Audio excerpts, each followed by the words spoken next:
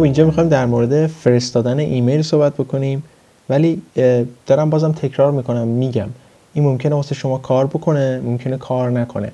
جلسات آینده در مورد اینکه واقعا آیا فرستادن ایمیل واسه هر ماشینی که شما دارید باش کار می‌کنید کار چطور کار خواهد کرد بیشتر توضیح خواهیم داد.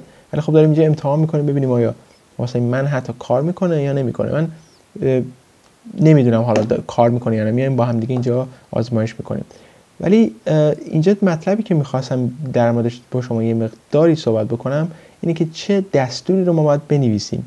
ما دستوری داریم به اسم میل که تو این میل ما اول یه وریبل تو قرار می‌گیره که به اون کسی که می‌خوایم بفرستیمه.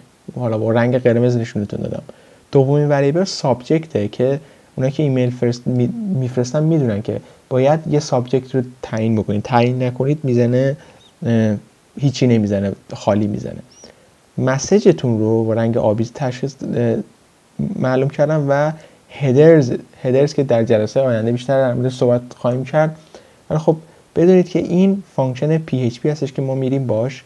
اینجا چیکار می‌کنیم؟ شروع می‌کنیم ببینیم ایمیل میفرستیم ببینیم آیا می‌رسه دست ما یا نه. حالا ما این presentation رو ببندم برگردیم بیایم داخل یه دونه فایل درست کردم به نام PH, sendmail.php تو این sendmail.php هیچی نیستش. نگاه بکنید من بزرگ می‌کنم که ببینیم. داخل tag PHP مون اون بالا یه فاصله میدم. داخل این tag PHP مون اول اون function ی که بود رو می نویسم اینجا. خب؟ حالا بالا این function من یه مقدار اول میام اول variable to رو مشخص می‌کنم. میگم to. حالا nobody at somedomain.com خب؟ اینجا آخرش من ایمیل خودم می‌خوام نوشت ولی خب شما اینجا می‌تونید هر ایمیلی خواستید بفرستید. من ایمیل خودم میفرستم ببینم آزمایش کنم ببینم می‌رسه یا نه. بعد اینجا من یه مقدار کامنت چیز کردم apply paste کردم که اینو در اختیار شما قرار خواهم داد که بخونید و بفهمید. میگم چی؟ ممکنه ویندوز اینجوری عمل بکنه که مثلا ویندوز may not handle this format well. یعنی ویندوز ممکن نیست این فرمت رو خوب handle بکنه. ولی توی مک اگر تو بخواید بنویسید مثلا می‌تونید اسم طرف رو اینجوری بنویسید یه فاصله بدید اینجوری بینش علامت کوچکتر و بین علامت بزرگتر داخل این گیومه داخل این double quotation چیکار بکنید؟ اسم ایمیل رو بنویسید ولی داخل این علامت کوچکتر و بزرگتر قرار بگیره اینجوری می‌تونید بنویسید. اونایی که می‌خوان چند تا ایمیل رو به می‌خوان یه ایمیل رو به چند نفر بنویسن multiple recipients چیکار می‌کنن؟ to رو اینجوری قرار میدن که مثلا یه ایمیل ویلگول فاصله ایمیل دومی و الی آخر. و آخرش هم چیز رو میبندن double quotation رو میبندن. اینجوری هم می‌تونه معنی پیدا بکنه که اسم رو بنویسن با فاصله و علامت کوچیکتر ایمیلتون علامت بزرگتر ویلگول دوباره و بعد فاصله بعدی و ایمیل های بعدی رو همینجوری پشت هم دیگه بنویسید.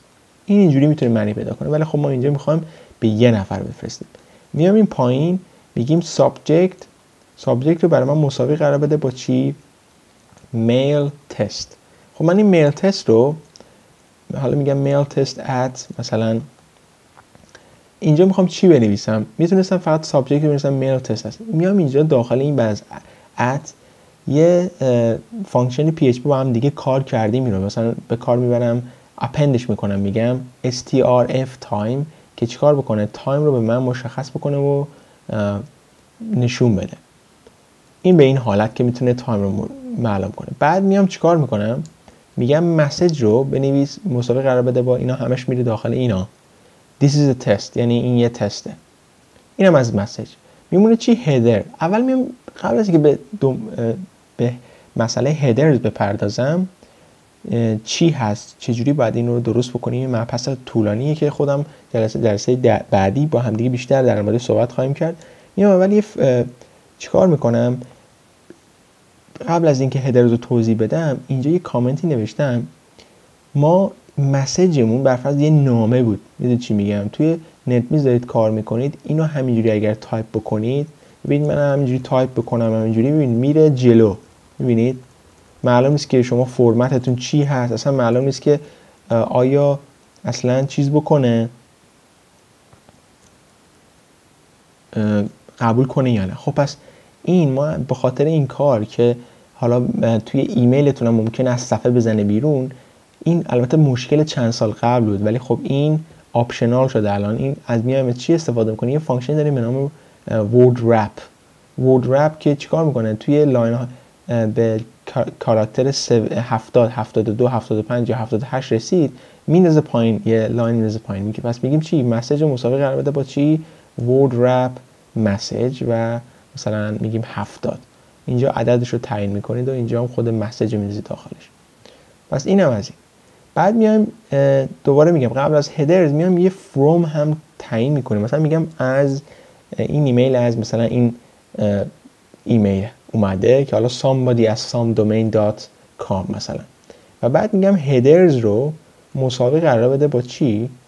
from دو نقطه و بعد این from رو جلوش append می‌کنیم. و بعد semicolon آخرش قرار میدیم و می‌ذاریم آخرش. و اگر هم ایمیل فرستاده شد آخرش اکو کن برای من result اگر فرستاده شد sent وگرنه بزن ارور به همین راحتی. حالا این از این. ما برمیگردیم داخل کجاست این؟ اینجا. سند میل رو البته من اول رو تنظیم بکنم. شما ایمیل دیگه بزنید از این استفاده نکنید ولی خب من از این یاهو می‌زنم استفاده می‌کنم که ببینم آیا می‌رسه به دست ما یا نمی‌رسه. ممکنه برای من هم کار نکنه. ولی خب اینجا می‌بینیم که حالا مثلا میگم از سندر و مثلا yahoo dot com اومده. خب خب اینو save کردیم. یه همچین کاری رو کردیم. برمیگردیم اینجا میگیم چیکار بکن؟ refresh ی که زدیم. میگیم حالا send mail. سند میل رو اینجا می‌زنیم میزه سنت. می‌بینید بالا سنت. به همین راحتی نوشت برای ما. خب الان باید بریم اینجا امتحان بکنیم ببینیم آیا رسیده یا نه. من میرم توی ایمیلم توی این باکسم یه مقدار باید سب بکنیم ببینیم آیا می‌رسه یا نه. خب همینجوری که می‌بینید اینجا نوشته سنت و مسیج رفته ولی الان نگاه می‌کنیم می‌بینید که سرور ایمیل من کار نمی‌کنه. هر چقدر ثبت کردم و حتی ایمیلم بالا عوض کردم دیدم که نیومد. خب ما برای چارش جلسه دیگه شروع می‌کنیم. چند تا در مورد چند تا سرور صحبت می‌کنیم که چجوری بتونیم ایمیل رو بفرستیم با هم دیگه.